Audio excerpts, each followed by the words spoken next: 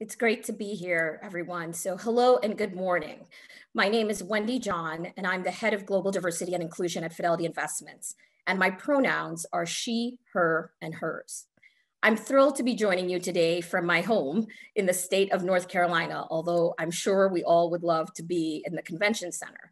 But this opportunity, taking it virtual, allows many others who would not have been able to attend in person to join in with us.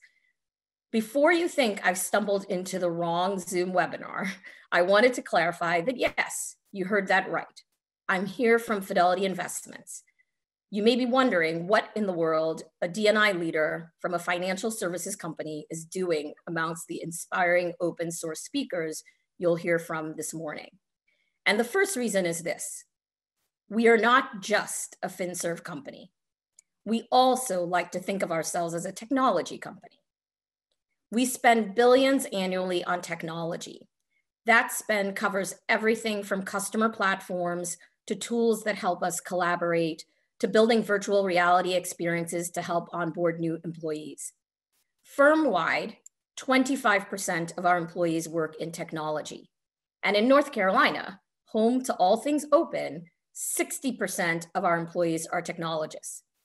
You heard me right, 60% of my fellow colleagues in North Carolina are not financial advisors, not customer service reps, but people like you who build technology. We pride ourselves on having an innovation culture built around continuous development and a growth mindset. Our employees participate in our blockchain club, join our Women in Technology Special Interest Group, and get involved with Fidelity Labs, our incubation lab for new ideas. We have a long history of investing in the cutting edge with recent commitments around cryptocurrency and blockchain, and exciting collaborations like our quantum computing efforts with AWS. Fidelity is always creating. In fact, we hold 259 patents on a variety of topics, a great testament to our consistent focus on innovation.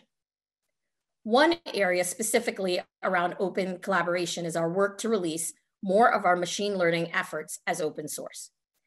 These have been focused on making common algorithms available and also for creating more simplified interfaces for frameworks like TensorFlow and PyTorch.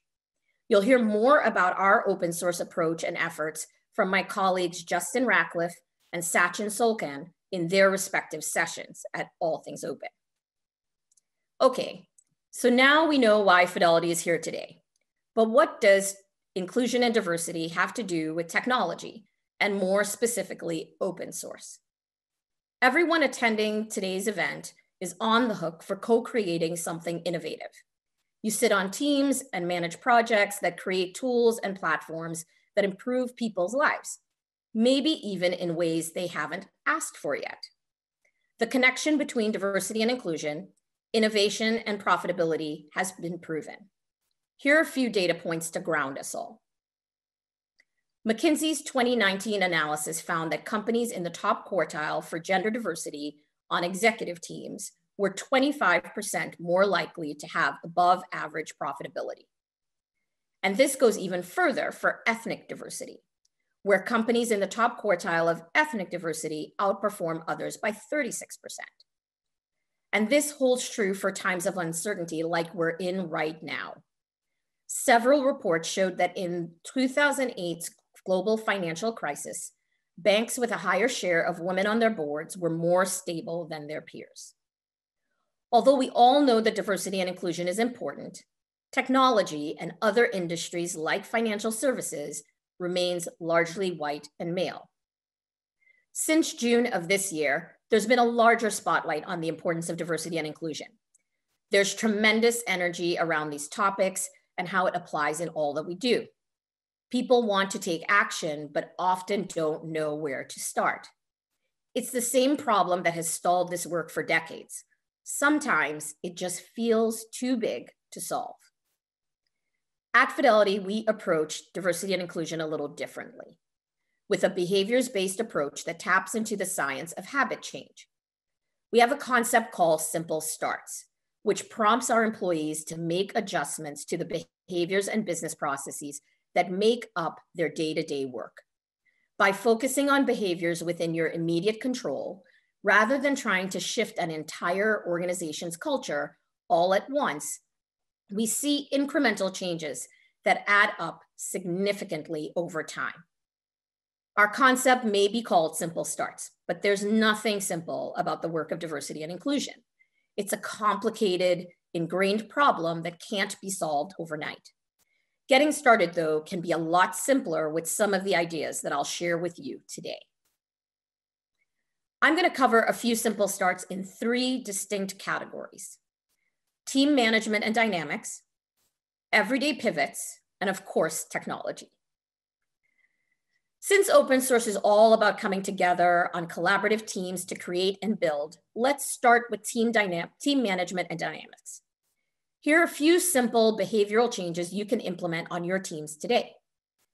Rotate work assignments on your team regularly, including team housework like note taking or meeting scheduling, and higher profile projects versus only going to the well known few members of your team.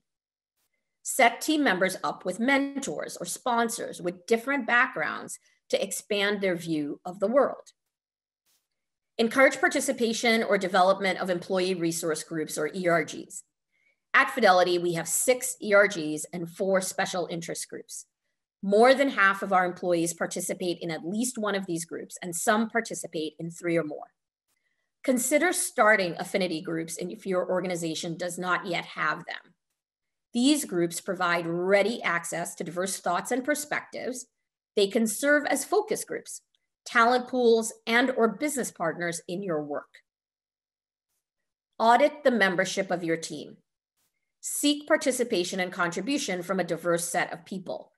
And when an underrepresented person leaves your team, dig into understanding the why in case there are changes that need to be made reconsider your team participation criteria.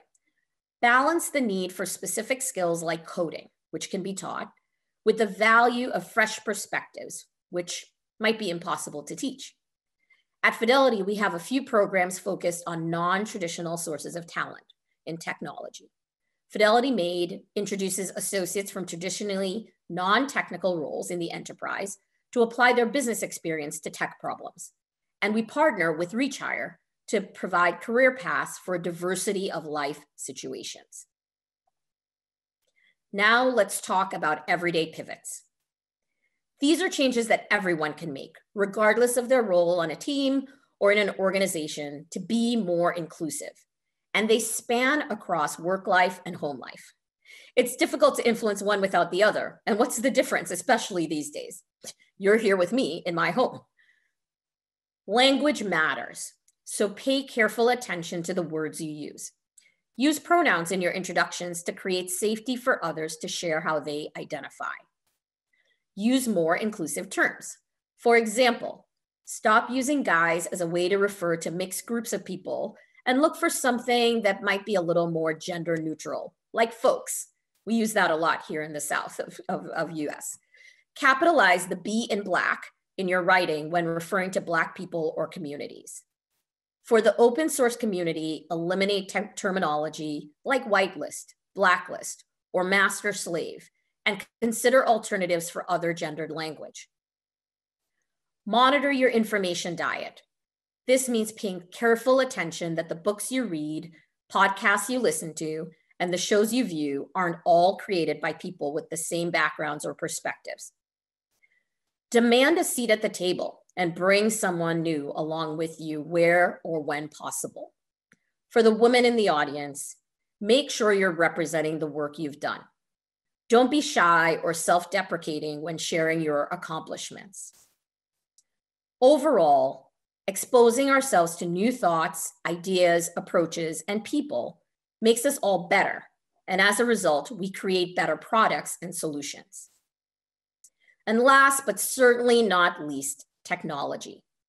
The good news is that due to advancements developed by technologists like you, we, the humans, don't have to do this all on our own. Here are a few ways we can use tech to help us create more diverse and inclusive workplaces. Use artificial intelligence to audit the language and job descriptions. At Fidelity, we run our jobs through a tool that scans for biased language.